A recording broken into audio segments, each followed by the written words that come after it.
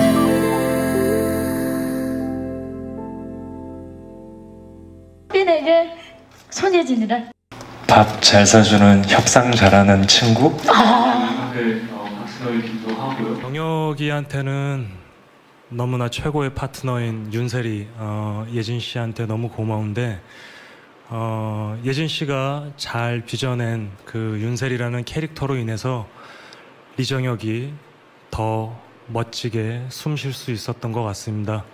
어, 이 자리를 빌어서 정말 너무 고맙다는 말 하고 싶고요.